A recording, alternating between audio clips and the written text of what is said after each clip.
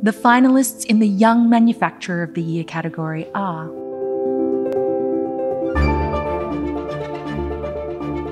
Alexander Tai, Essity, Springvale.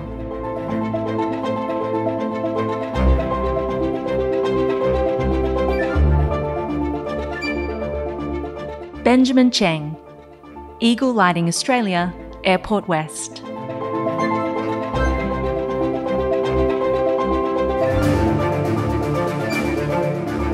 Pritesh Manjibhai Jivani, Versatile Aluminium Windows and Doors, North Geelong.